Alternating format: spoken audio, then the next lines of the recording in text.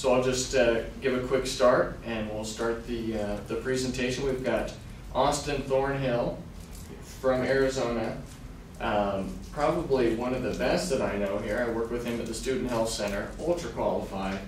Uh, we're excited to hear from him. We've got uh, Tyler Kilpack from Shelley, Idaho, and then uh, Dexter Truman from Pocatello. And uh, each have been accepted to some pretty neat programs. So we're excited to hear from them, and they have a PowerPoint presentation. So let's give them a warm welcome. Um, so just kind of as a start, what we're going to do is we just have a quick presentation. Um, it's adapted from Brian Visser's presentation, where Brian Visser is one who he was a he's at Iowa. Is it Iowa State? I don't want to be at University of Iowa. Okay. And um, so we kind of I got this presentation from him um, and adapted a little bit just for kind of our needs. What we're going to do is we're going to go quickly through um, just kind of all the steps of the application process, picking your schools, everything like that. Um, and then we're just going to hold questions till the very end. We shouldn't we shouldn't take more than just a handful of minutes to get through this presentation, and then we'll just take questions on whatever whatever you guys need. Um, so yeah, just so just to start out, um, really really big and very important part of uh, applying for grad school is understanding your timeline. I think one thing because we talked last night, I think one thing that we all three of us agreed on is uh, yeah, we wish we would have had more time for certain things. We wish we would have prepared a little bit earlier. Um, wish we had more time to prepare for either the GMAT or the GRE. Um, so just being very aware of what your deadlines are, um, understanding what you need before you uh, before you absolutely need it, uh, makes a big deal. So first part, just picking your schools, um, preparing for whether you're going to take the GMAT or the GRE or both, uh, filling out your application, and he, this is Brian's, some of his stuff in here as far as submitting by Thanksgiving. And it's kind of a caveat with that because some uh, programs, like for instance, uh, Tyler's program at UW, uh, the prior deadline is November 1st, right? So that's well before Thanksgiving. Um, and then, talk a little bit more about your application, then getting on to your interview, the waiting process, and then basically paying for uh, paying for grad school. So, okay. So picking your schools is probably, this is something that takes a lot of time. Um, because you'll find as you do your research about these different graduate school programs that they're not all the same and they're not all created equal. And the ultimate thing you want to do is you want to be able to find the best fit for you. And that's, you know, as you can, each of them can probably also tell you that that's kind of a spiritual experience as well as what you know about yourself. So if you if you're not sure what you want as far as graduate school, then it requires a lot of research, and that research is going to take you all over the place. Um, like I know for myself, you have to go online and find out information, calling different programs, asking them questions, you know, kind of making sure that they know that you're there. Those are all things that kind of go into finding the best fit, and that's and that's what you're kind of looking for, whatever's the best fit for you. And here, um, Brian provided some of the his little breakdown of whatever you're interested in, as far as maybe a lot of people are like, do I go for an MHA? Do I go for an MBA? Yes, the operations, system management, consulting, law. Whatever you're interested in, there's a program for you. and it's all about figuring out which one you feel most comfortable at or would feel that plays to your strengths. Um, the other thing we have up here is the SOPHAS or HAMPCAS programs. It's really great because they're centralized systems that will help you apply to more than one program. You get it helps you to fill out things once. You can upload your letters of recommendation, your personal statement, um, all of that stuff, and so and then you can designate how many different schools will go there. And this this ties back into doing your research but not all schools that are on the SOPHAS program are on the HAMPCAS one, and not all of them on HAMPCAS are on SOPHAS. You'll find that some might be on both, but it really is kind of just a matter of, of where you want to go. Me, I ended up doing both because there were some schools that were on SOPHAS that weren't on HAMPCAS and vice versa. I didn't. So, and then of course, you can always just apply through their regular programs, like Dexter was saying. So he didn't do either SOPHAS or HAMPCAS, but I did all three. I, I used SOPHAS, I used HAMPCAS, and I applied through their own program on their website. It's kind of like put it all in an envelope and mail it off kind of thing. Although a lot of things are really technical now, you can submit them online, which is nice. But again, that just goes back to doing your research, and, and the websites will give you a list of what schools participate in. The other thing to keep in mind, though, is that you not only pay like the application fee. So each school, let's say I go on SOPHAS and I want to apply to Minnesota and Michigan and North Carolina and UAB. It, each of those schools is going to have their own application fee, like a processing fee, somewhere between fifty and eighty dollars. Everywhere is different. But then SOPHAS itself also has a fee to send it to those schools. So that's also something to be aware of is that it also costs extra. So even though I did use SOPHAS and I used HAMPCAS, I didn't end up actually submitting anything. So I just did all the work to fill everything out, and then I didn't, I didn't send it in because, well, things worked out for me. But so I didn't end up having to pay anything. But just keep that in mind as well. So that might limit, you know, you might say, well, HAMPCAS has one school that I need. If you only need one school, it's probably better just to go through their own program and not have to pay the extra fee. But if there's multiple ones, it definitely saves time. GRE and GMAT, uh, we're going to cover that here in a little bit, but you need to take one of them or both. So, uh, speaking about GRE and GMAT, I took the GRE based on Brian Visser's uh, recommendation, and uh, you know it's it's totally different because Austin took the GMAT, uh, Tyler took the GRE as well, um, but it, it goes the decision should be based on what schools you're interested in. Because some schools require the GMAT or prefer the GMAT, and some schools uh, prefer the GRE. So that goes along with doing your research. Just real quick, how many of you are interested in, in grad school? Like are all, all of you? Okay. Have you done any research at all, or is this like your? I hope you've done a little research. It's okay if you haven't. I mean, I didn't do a whole lot before. Yeah, I mean, this is this will be good for introduction purposes. Um, going on with the GRE, I uh, like Austin said, I wish I would have studied longer. I think that's everybody's wish. I planned out like a solid month of studying, a couple hours a day, but it turned into two weeks of studying, a couple hours a day. But I got the score I, I was looking for, and that's all that mattered to me. So, um, th- just this slide goes over some differences of the tests, and G- GMAT is more um, math based. I think that's pretty well known. Whereas GRE is kind of a um, not as much math based, which I was grateful for. Um, yeah, going real quick, just a, a quick tangent. If you're, did you guys buy any programs or do any classes? I did. You did. I didn't do GMAT. I bought an online program from Magoosh.com, and it was hundred dollars and I strongly recommend that program just because of the layout and the tests, questions, the study guides that they had. I took like five or six practice tests, and they look exactly like the real thing. So it was really helpful for me to kind of gauge where I would score and see where I could improve. So uh, that's Magoosh. Is the And I, I did the program that I did is called Knewton GMAT. Um, it was it's a, it's not it's not cheap. I think it's three hundred and fifty dollars, um, and you get the program for um, somewhere between like three and six months, and you can go through it um, at your own pace. What's really nice about it is it does legitimately prepare you for what's going to be on the GMAT, um, and you get a lot of practice tests. That's really the biggest thing um, that I really felt with standardized tests was getting, you know, not just trying to learn the methods of the test, but actually just taking practice tests. right. Um, that made a huge difference, being able to just take the practice test. Because the questions are unlike any multiple choice questions that I had ever faced. They were just worded differently and the answers were different. I don't know about the, how the GMAT was, but that was the case with the GRE. So definitely you got to spend some quality time studying for either exam.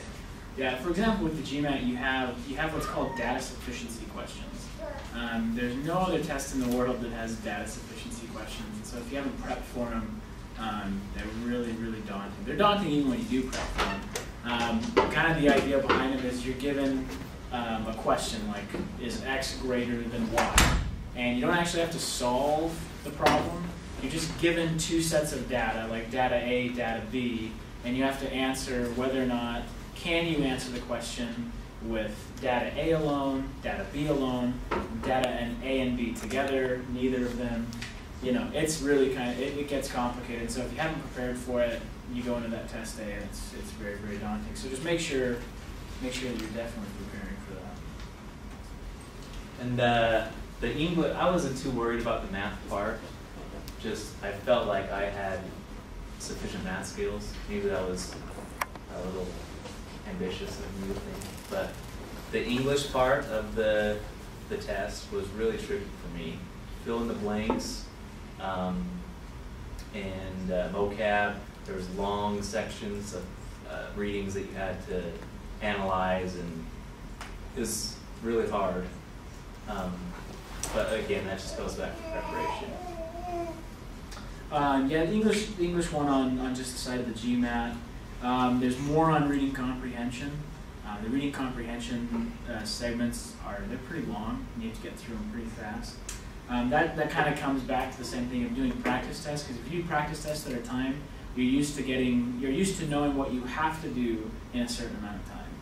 Um, because usually I'm a, I'm in general I'm a very fast test taker in classes. Um, you know, usually in Brother Tolman's class, um, usually get through. I usually get through those pretty quick.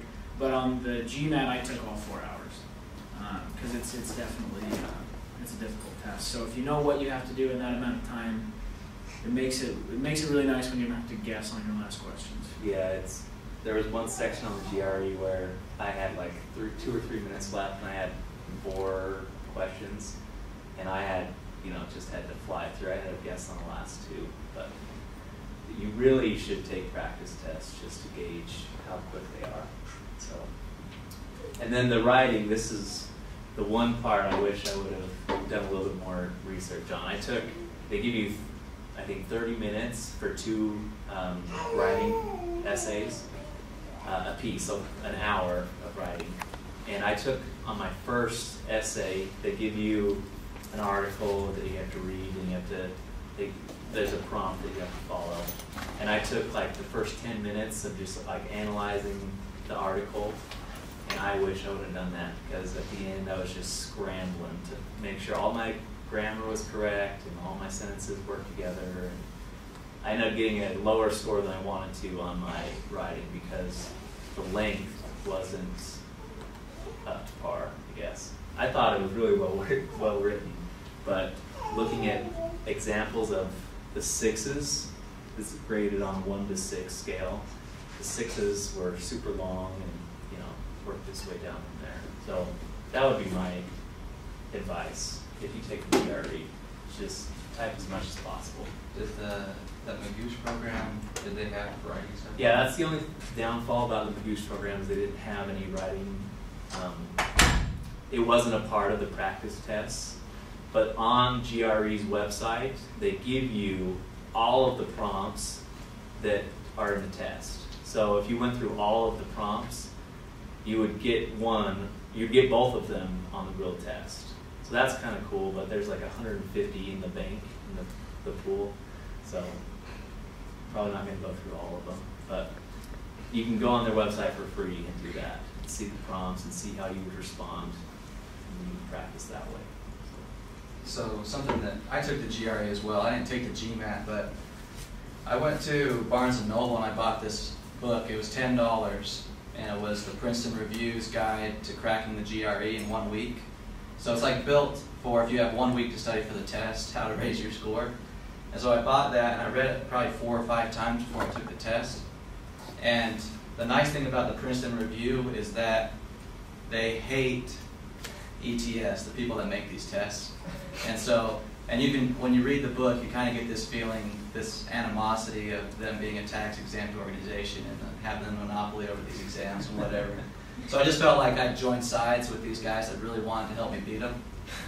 But the nice thing that came with the book is it came with practice tests, but it came with a writing section where I actually wrote essays and it went to Princeton Review people who graded them and provided feedback. So I got this feedback from these people who said, you know, this stuff you did in your essay was good. If you want to raise your score, you got to put more stuff like this, or they would tell me that stuff. And so, um, I and I don't like writing, and I don't consider myself a good writer. But I got a five and a half out of six on the GRE, which put me in the 93rd percentile. And I strongly attribute that to the feedback I got from writing those practice essays.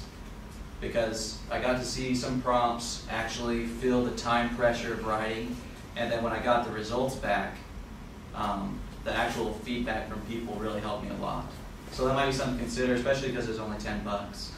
Yeah, So- super helpful. It was, it was nice. Okay, and then on the GMAT, um, there's kind of two two other. Well, there's one writing part, and it's analyzing arguments. It's the same thing. It's graded on a one to six scale, um, and I totally agree with Dexter. The more you write, by you know, just by the statistics of it, the people who write more score better, um, and that's that's just how it goes. So, and then there's another part, integrated reasoning.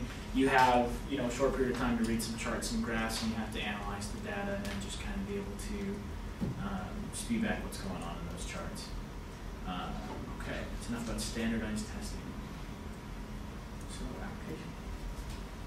So everyone's application is going to be different, and that's kind of the annoying thing because even if you use HAMPCAS, some programs might require, like VCU required four letters of recommendation rather than three, and two of them had to be academic from a professor. And then other schools would just say, we want three letters. You can pick who you want. You know, it doesn't really matter. As a general rule, a lot of the places would say you wanted one academic, so a teacher, one from your profession, and then one personal, someone who's known you for a long time. But as far as the personal statements go, those are different too. Because I had it in my mind that, you know, before school started during the seven week break, I was like, I'm going to get started because I don't want to be pressured to fill out my applications and dealing with school at the same time. So I, I wrote a personal statement, kind of a general one that I thought I could use for everybody, which was not ever the case because everybody had different prompts. So, for example, at the University of Washington, I wrote four different essays for the application. And none of them were like include a personal statement. So even though I'd written this personal statement, it was basically garbage. So like they wanted an essay about why you were involved in healthcare and why you're passionate about it. They wanted an essay about why you wanted to go to school at the University of Washington. Then the third essay was a case study where they provided this case for you and you had to write what you would do as an administrator in that situation. And then the fourth one was optional. So I, even though it was optional, I did it because I figured probably maybe nobody else was. But it was like a diversity essay. They want to know why you're different. And so I definitely encourage you to take time. If there's optional things, um, probably not everyone's going to do it because everyone else is time crunched the same way you are. And I don't, I can't tell you if that had a great personal effect on my application or not, but that is something that I did that, like some of the other students I know that applied with me that they didn't fill out. So, something to keep in mind though. You want to show your personality because you're trying to find the right fit, and you also want to show diversity or why you're different or why they should they should accept you because they're you're trying to persuade them that you should be there. So that's something to keep in mind though that not everybody's the same. So every school I applied to had different prompts and I could use chunks of different essays that kind of applied, but just expect to do a lot of writing if you want to apply to a lot of different schools. Uh, yeah, and then just kind of echoing some of the things Tyler said, with uh, with your personal statement, be prepared to write several drafts. Um, so I don't know about these guys, but I remember the first draft that I had. I sent it to uh, Jared Stanger at Penn State to go over, and in a very kind way, kind of said, "You just need to start over. Just write something completely different." and and so I had like I had a draft that I thought was going to be great, and then he's like, "Nope, that's not it." And so I started over and kind of had to rehash, and then I did another several drafts of just a second entire essay. And so be prepared, and that's why you need time for your personal statement, because you want to be able to write it, step away from it for a week, and then go back and look at it again. Um, and it will really, really help you. Uh, anyway, okay, so extracurricular activities. This was this one was oops. Um, this one was a big uh, a big selling point for me because my my uh, my GPA isn't super high. My last two years was like a 3.6, 3.7, so it's not really really high. It's not really low. Um, and then my GMAT scores were nothing to call home about, and so I wasn't banking on my grades and my score. Uh, I really had to figure out what was going to make me shine through all these other people that you know have three nines, four O's, and scored high percentiles on these different tests. And so for me, a big part was um, my job at the Student Health Center. Um, and it doesn't just have to be, you know, a, a job somewhere. It can be um, getting involved in whatever, you know, being involved in the society, um, volunteering at hospitals, you know, anything that you can do that really is going to benefit um, your career as a healthcare administrator. Because uh, both programs that I, I applied to Penn State and University of Utah, and um, I was accepted into both, and it would, they made it very clear that the reason I was accepted was because of my work experience. Um, because yeah, like I said, the scores weren't they weren't phenomenal, um, and so that played a huge part in in everything that I did. It had played a part in how I wrote my essays, in how I wrote up my resume, um, in just about everything in my application was trying to really focus on my strengths, and my strength was my work experience, um, and I had weaknesses in, in pretty much all the other areas. So, uh, you know, make sure at the same time that don't do an extracurricular activity just to do it. Because um, admission boards can see straight through that. You know, if you put something on there just to put it on there, they're going to be aware, especially if they ask you questions about it in your interview and you don't have a whole lot to say about it. Um, you know, they're, they're, they'll see right through that. Uh, but yeah, so that's that's what I've got to say about that. Just another quick point about extra extracurricular activities. Uh, anyone can volunteer up at Madison Memorial. It's, it's, a super easy process.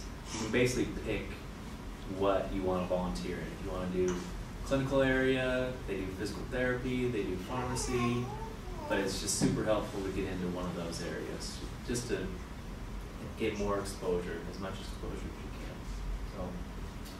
So, all right, letters of recommendation. I really struggled with this going through my application. I had two nailed down, obviously Brother Tolman, and I asked Sister Watkins for one.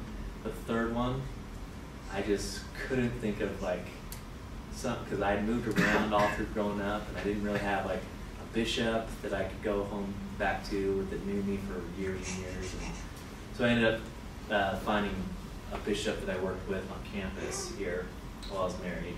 But make sure, I think this is obvious, but sometimes it's not make sure the people that you ask will write a positive letter of recommendation because that's not always the case. Even though you may know them or you think they will, um, I think they'll they are honest in their letter of recommendation. And most of the time, on the application websites through the programs, um, they give you an option to you can either see, get a copy of the letters of recommendation, or you can sign away your right to see them. And a lot of writers won't write a letter for you unless you waive that privilege. So I, I had to waive all the privileges. I don't know about you guys, but so I didn't see any of my letters of recommendation. So make sure the people that you ask, uh, I don't know if you have to bribe them or you know, do whatever you have to, but make sure they write positive reviews because there are some writers that write negative letters of recommendation. Um, like Tyler said, uh, each school requires different amounts. Um, was it UAB that required four? Uh, VCU. VCU. Uh, Penn State, uh, St. Louis, and Washington State, I think Weber State all require three, but they require three from different types of people. Like Washington State, I think, is two from academic and one personal. Penn State was one academic, and so on. So that goes back to doing your research. But make sure you don't pick a family member. I hope that's obvious because that doesn't really do you any good. It's like uh, if you had your mom write a letter of recommendation for you.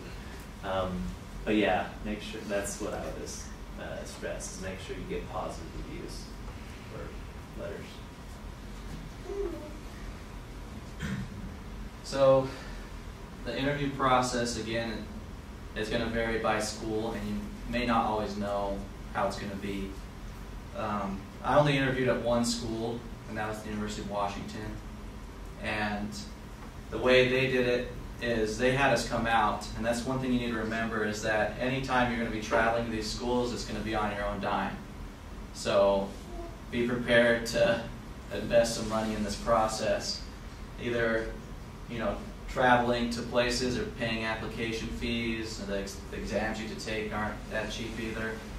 And so, and then of course you got to pay to send out your scores to schools. And when I went to the University of Washington, they kind of gave us the format in advance, and ours was a group interview. So I was kind of nervous for that because it's like, how do you stand out in a group interview without being overbearing towards other people there? And I kind of felt like a a big fish in a really big sea when it came to the University of Washington because everyone there I talked to really looked sharp. I was kind of hoping I'd get there and someone would come with some bed hair or forget to wear a tie. And I'd be like, yes, I got that person, you know, that one person. But no, nobody did except one guy. Um, but the and so I interviewed. I actually interviewed with. There's three of us and the finance professor who's on the admissions board. And they didn't. They just told us that case study that we had to write an essay on. That we were going to have an interview about that case study.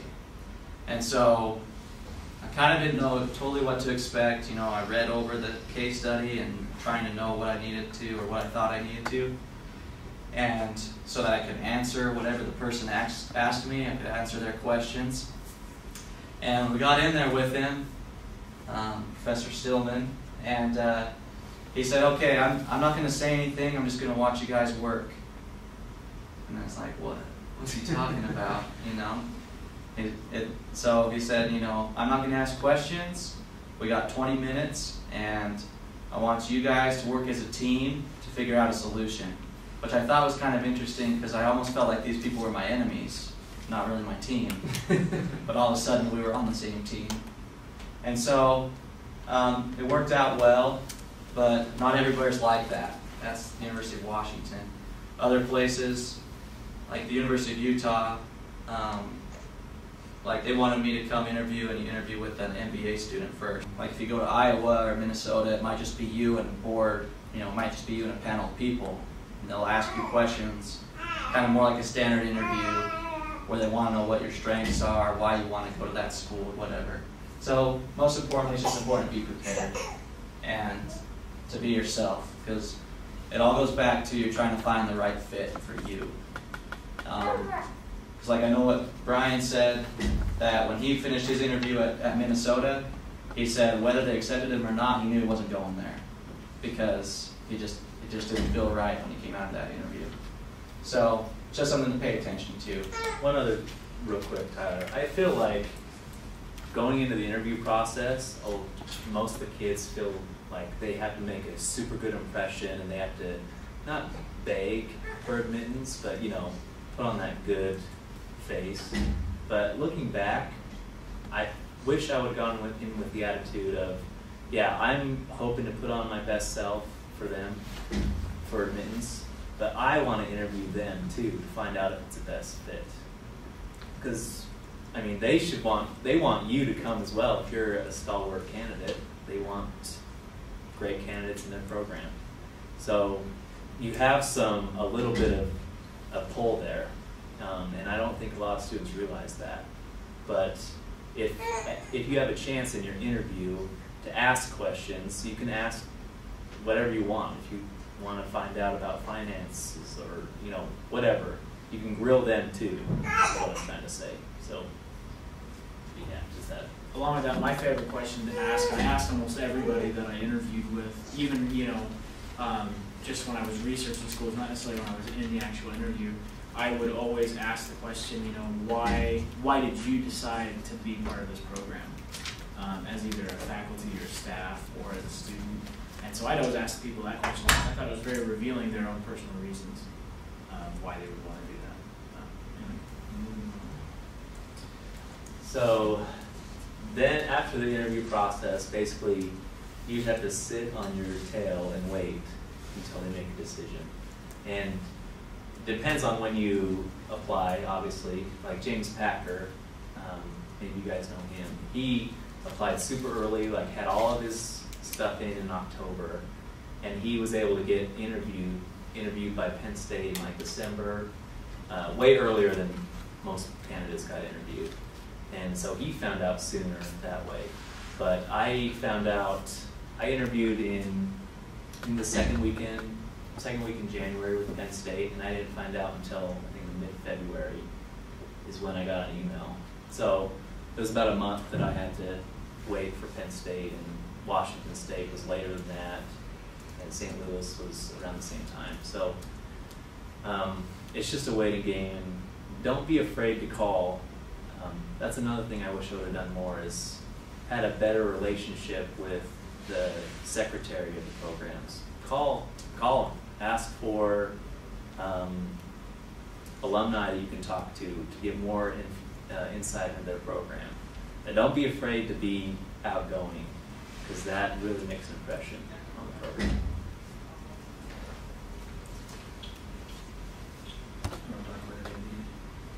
Is this uh, this is Brian's Yeah, that's experience? Brian. Okay, so it looked like he wrote his experience down. Just remember them. That's something that I did, you know, with each program, because I went and visited both programs after uh, being accepted. And we're gonna go ahead and excuse Tyler. Yeah, I got class, so, well, these guys can take care of you. Thanks, Tyler. Thanks. Um, for me, uh, you know, I, I would kind of try to gauge what my feelings were after the interview, but I really tried to gauge my feelings after visiting each campus because I did Skype interviews for both, um, but I wanted to visit each campus before making a decision. And I had to, I had to think deeply about, you know, how I felt in each situation, um, how I felt on their campus, how I interacted with their staff and their students, um, and really, really try to remember that. And at the same time, you know, what Dexter was talking about just reminds me of something. Don't because you're gonna you're gonna you're gonna apply, apply to these programs, and your classmates and friends are gonna be applying for the same programs, um, and so you're almost you feel like you're competing with each other a little bit, and uh, it's like it was kind of funny. I just met Dexter yesterday, and he told me he was applying. He had applied and got accepted to Penn State, and I was like, oh, you were one of the guys I was competing, with. and uh, and so don't get discouraged by what happens with other people's experiences. Because for instance james james is a really good example. Um, he was accepted to uw and penn state. Uw is a very highly ranked they're a very reputable school um, and he got accepted you know pretty pretty quick early in the process they wanted him. Um, and then when he applied for utah which is where i'm going which is much much lower on the rankings um, he didn't get accepted to university and and, it, and him and I talked about that for a long time because James and I are very very close, and we wondered like why why on earth was that? I get accepted to UW, but I can't get into U of U, um, and it has so much to do with just what the university is looking for as a fit. You know, not necessarily just what's on paper. You know, what your scores are, even what your work experience is. It's not all about that.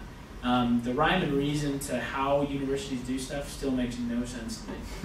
Um, for instance, you know, Dexter said he interviewed in the second week of uh, January, and then you found out a month later. Yeah.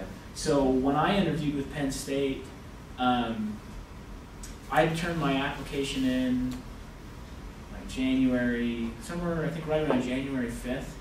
I didn't hear back from them until the end of February, just to get an interview, and then I had an interview like the next week on a Friday, and then they told then they sent me an email Monday morning saying that I was accepted. So it's really weird. You know, so everybody's everybody's time frame is different, even when you apply at the same time. It's uh, it's really weird. Really quick about Tyler and James. Tyler was super mad at University of Washington because James had received communication with them about an interview and Tyler hadn't. And so in class one semester class when they were applying, Tyler was like, I'm not going to UW. They didn't they didn't call me, you know, kind of a thing. Where actually he ended up getting accepted and had a, a sweet financial package offered to him. So I totally agree with that. Don't let the communications di- that differ from student to student affect you, because like Austin said, really depends on the university and the student. So, so yeah, that was pretty much the end of our uh, presentation. Do you guys have any questions? Any at all? Justin. I just talked to a friend who said that he had narrowed it down. He started with like twelve and he narrowed it down to like four. Is that pretty consistent with what you did or? I don't know about you, but I had my uh, my sights were set on Penn State like from the beginning. So I had I wanted to go to Penn State, and then I applied to like two or three backup schools like Weber State and Washington State. I thought I could virtually like guarantee myself admittance. So that wasn't my experience, just because I was so focused on Penn State. But I would assume. Yeah, for me, I probably started somewhere around ten schools. I, um, you know, Lance Udi has that program that we, most of us, I imagine, have probably seen, where it goes to like the top twenty-five schools or top twenty schools, or whatever it is. And uh, and so I kind of just went from there. I looked at um, another list to look at, not just looking at Newsweek's, because that's Newsweek's top twenty or top twenty-five or whatever it is. Uh, rankings can be misleading. Um, and Dr. Clark actually talked to James and I about how how those are um, calculated. It's based on what other programs think of that particular program. That's how it's ranked. Um, and and each and each ranking does a different algorithm. You know, some of them will go off. You know, what's the percentage of job offers? How many of them get fellowships? What's the average salary, starting salary? The algorithm for each ranking is very very different. So don't go completely off rankings. Like for me, I got into Penn State, and arguably their academics are like in the top ten, if not like Yeah. the top five. Um, but then University of Utah was a better fit for me, and it was hard to say no to Penn State because I wanted to go there really bad, but I knew that University of Utah was where I was supposed to be, and it can get um, it gets confusing. But anyway, I did start with like ten or twelve schools. I got it down to five, and the reason a lot of us pick five is because on the GRE and the GMAT, you can send your score, what's included in the fee for the test. If you're prepared and you know what schools you want to send it to, um, either at the beginning or the end of the test, I can't remember. The end. The end, you pick which schools you want to send your scores to, and then it doesn't cost you any additional fees, and they'll send them to those schools. And they, they limit you to five. And after that, it's like thirty or forty dollars a school to send your scores to. Um, so that's why a lot of us picked five, was because that's what you can send your scores to for free. Um, even though I had it narrowed down to five, in the end, like when I was finally submitting my applications, I only submitted to the University of Utah and Penn State, because in the end, those are the only two I cared about going to. Um, and you really have to you have to nail down what you really want, because in interviews they're going to ask you. There's there's two questions that I that you have to be able to like spew out really fast with any of these universities. Why do you want to be a healthcare administrator, and why do you want to be in their school? Those are like I don't know if you had that. Yeah. I had. It was so confusing for me because I changed my major to healthcare administration because I had no idea what I was going to do with my life. I thought I was going to join the Air Force and become a physical therapist, and then that didn't happen. And and so I was trying to figure out what I was going to do with my life. I prayed about it a lot. Uh, Brother Tolman gave the devotional in the very end. It was the very last devotional, fall semester 2010. And so I went and talked to him and asked him, like, this is a good idea. He told me to do 285. So I changed my major, became a healthcare administration major, and the stupor of thought went away. All my prayers were answered. And so when I had all these essays saying, why do you want to be a healthcare administration major? Or why do you want to be in healthcare administration? I thought, how on earth do I get across to an admissions board that the stupor of thought went away? That's why I want to be a healthcare administrator. And so I really had to figure out, why do I want to be a healthcare administrator? And for me, it took me about a month to figure it out. I was like, I know this is where I'm supposed to be, but why? And it came down to me really wanting to be a part of something bigger than myself, being part of a hospital, and um, knowing that outcomes in healthcare are patients, they're people, they're not just uh, profit margins, they're not just about, um, you know, uh, return on investment for our investors. It's about patients. You know, obviously you have to stay profitable, but it was about patients, and that's what made me want to be in healthcare. And I can't go to med school because blood makes me faint. So that was that's why I went into administration. Um, and then the other thing was knowing programs really, really well. And I'll let Dexter talk about as far as uh, communicating with programs and knowing why you want to be part of a program. Yeah, so, does anyone know Greg Angus? Don't know Greg. He's at Penn State right now. But uh, he was super, super good about communicating with programs. Like, he applied at UAB, and he, like I said in the uh, earlier, he called the secretary, asked for alumni's information, followed up with the alumni, had a good conversation with him. The alumni reported back to the program, and they just thought the world of him. The secretary said, "We've never had someone follow through like that." So, uh, just again, communicate with programs and don't don't feel like you're uh, intruding or being annoying at all. Because, like I said, they want you to, not just the other way around. And you can act like that. So, are there any other questions? Yeah. Yeah, so it seems like each school has different requirements for you know letters of recommendation and like your personal statement with like certain prompts. If you use like the same SOPHAS or HAMPCAS, like can you pick and choose which essays you send to each school or In Is it still HAMPCAS that and SOPHAS, generalized? I remember in HAMPCAS, like you could, you'll know if I remember correctly, because I started HAMPCAS, but because I didn't want to, I wasn't gonna send resumes. I'm sorry, I wasn't gonna send applications to either UW or Minnesota. It didn't matter because Penn State and University of Utah don't use HAMPCAS or SOPHAS. But when I did start that, kind of what it is is you understand what the requirements are from each school, and then you write all these essays and you upload them to HAMPCAS, and then when you're submitting your application, it'll say, okay, you need to submit an essay for this, this, and this, and then you just like it's more or less like a drag and drop of the essays that you have uploaded. Does that answer your question? yeah. Okay. I, I was kind of the same line. I wanted to write one personal statement and, you know, like edit out Penn State and put in Washington State or, you know, St. Louis. That's just not the case because they give you a prompt and it's different. You have to write on. So, kind of a bummer.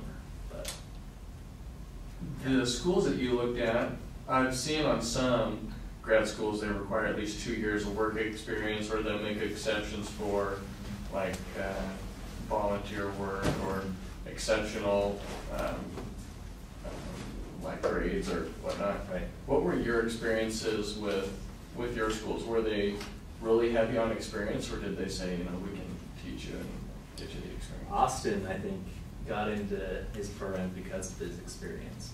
But I, I, I mean, I worked at uh, Home Care Pulse here in town, and it's a home care call. We do interviews with home care agencies and their employees, and I think that helped me. Um, it wasn't brought up in any interviews or anything, but I think the whole application process is weighted differently by each school. Like some weight grades higher than others, some weight personal statements higher than others in experience. Um, but as far as like making sure I had two years experience, I try to like count my mission, but I mean, trying to convey what a mission is to someone who's not LDS was hard, especially over Skype. But um, I think that went into it, my home care pulse, and I volunteered at the hospital. And I just crossed my fingers and hoped that was enough. But um, yeah, I don't know. Do Yeah, see, and for me, I always, um, what I always recommend to people, you know, if you'll see the requirements, and then you say, oh, well, I don't meet this requirement, so I shouldn't apply. Yeah. Disregard that. Apply Apply. Yeah. I mean, eighty bucks, even that's like the highest application fee that I saw. Um, drop in the bucket if you get in, in to the university, especially if you get any kind of financial aid. So don't be discouraged from applying to as many places as you want, even if you don't feel like, for instance, financial accounting, I'm going to take financial accounting again in my MBA this fall, and I'm ready it, because I got a C in that class. And, and, and so in their application, they say you have to have a B or higher in financial accounting. No one even brought it up.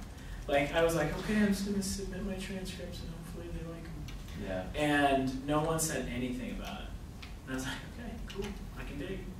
And so, uh, you know, whether you have, that was the other thing with the University of Utah, because since I was competing with other MBAs, most of these guys were coming in with like post undergrad, full time, two years of work.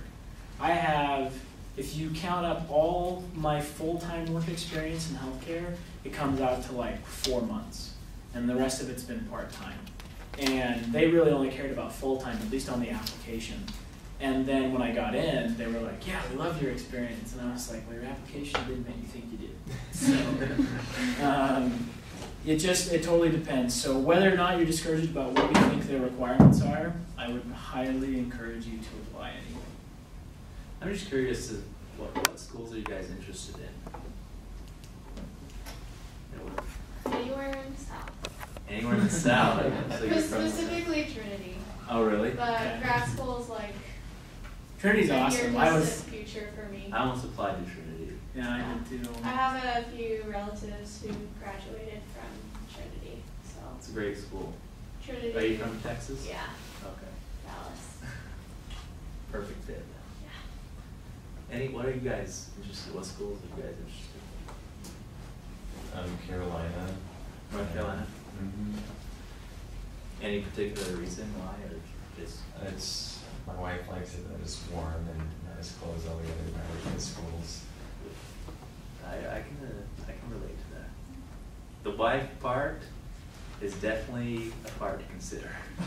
Some, some spouses don't like to go cross country. And it was it was it was kind of the uh, opposite case for me because I'm single, and so when I went to Penn State, I was all concerned. It was really funny because there's a handful of LDS people in the program in the Penn State program, and the rest are crazy people. Uh, but when I went out there, like these guys had even talked before I got in, because um, everyone's married out there. I'd have been the only single LDS guy out there. I mean, I just did what felt right and what the Spirit told me to do in my process. Uh, but I'm imagining part of it has to do with the fact that there was like 10 single active LDS women in state college, and there's a lot more in Salt Lake. So that might have a part to do with it. Yeah. Is anyone interested in like Minnesota or like the big time programs?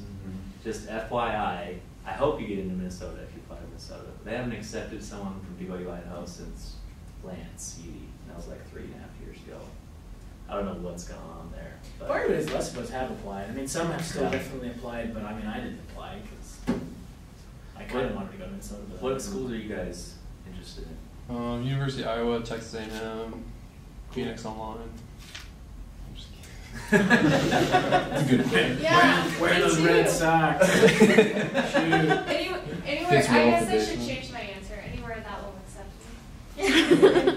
See, that was that's my. Where, that's where I'm interested. That was totally my attitude. But like I said, looking back, I wish I would have been like, yeah, you want me too. Like, you want what I have, even though that sounds arrogant, but it's true. They want good students and they want people who will be professional. So you can have that kind of attitude. So are there certain graduate schools that BYU Idaho has a really good connection with that they're like, oh, we love your students? Oh, yeah.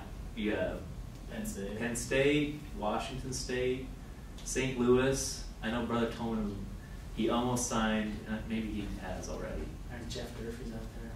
Yeah. St. Louis. St. Louis almost signed like where they would do three years undergrad at BYU Idaho and then two years at St. Louis and graduate with your bachelor's and master's degree. I'm not sure if that still works, but President or Brother Tolman read me an email from program director at St. Louis and he was just ranting and raving about us and like, man, I didn't know we were that good. I don't think we're that good, but perception's everything, I guess. But yeah, those three schools in particular, and I think University of Utah is more becoming more because Brother Tolman has a relationship with Intermountain Healthcare and Scott Parker. So Yeah, and just to buoy you guys up about um, you know trying to apply for universities, there are a very small percentage of your competitors are undergrads in healthcare administration. Most people don't come in with all the industry knowledge that we do, and a lot of admissions people understand that. And so, I mean, that gives you a leg up on a ton of people just because of what classes you've taken. Um, so, yeah, something. Yeah, I'm just, in my cohort at Penn State, there's twenty of us, and four from BYU Idaho this semester. So, and one of them's an English major, so I don't know how that happened, but, So he ended up accepting to go there. huh? uh, I think his name's Austin too. I can't remember. I remember we talked about him. But yeah, just because Dr. Clark is President Clark's son, I think he really values There's, a, BYU. there's a uh, bit of a connection there. Yeah, so, and I think he's finally convinced the admissions board at Penn State that we are good at being students and being professional. The kids out there now have made a really good impression. That's good, so. Are there any other questions? Comments? Did you guys have contact with people that got into graduate school and told you how it was and how the classes were? And because I haven't talked to anybody. Well, I talked to one person, but Yeah, I'm, you said you were applying North Carolina, that was like your top. yeah. Um, I know, I can't remember her name, Kayla, you know Kayla, she worked at the health center. Yeah. She, I think she was accepted into North Carolina, I think she's going there. I can't remember if it's, I know it's North Carolina, I can't remember if it's North Carolina at Chapel Hill, or if she's doing like, I think she might be doing the professional MHA program. Rather, regardless if she is or not, it's pretty much the same faculty. Yeah, but anyway, there, you can, you can get a hold of alumni, it, it should be a problem. And, If you'd like Kayla's contact information, I can. Yeah, Okay. And like Penn State, there were kids out there I talked to that kind of walked me through the process and told me what the interview was going to be like. So yeah, I definitely encourage that. Um, and just kind of as a, a final thing that I would just say to you guys, as far as my experience with, like I said, Penn State was where I wanted to go, hands down. I was talking to uh, Dexter because I felt very much the same way that he feels now about Penn State. You know, back if I would have had to make a decision back in November, would have said Penn State hands down. I wouldn't even consider Utah. Um, but I had some different experiences, and and divine intervention was a big part of why I chose University of Utah. In fact, even when I made the decision, I still wanted to go to Penn State. Um, but what felt right was University of Utah. So be aware of what your feelings are, um, and really try to. You know, it's important to follow the Spirit because the Lord, the Lord can obviously use you wherever wherever you are. Uh, but at the same time, there is a chance that the Lord needs you in a particular spot. And I think that's very, very important to for your own growth, for your family's growth, and for the people that you're going to be serving with and around, um, and wherever you go. So uh, make sure that that's a part of your process. Make sure that you you're making the Lord and prayer and scripture study and everything else part of your process and, and applying to grad school. Thanks for having us. If you have any other questions, you can come up and.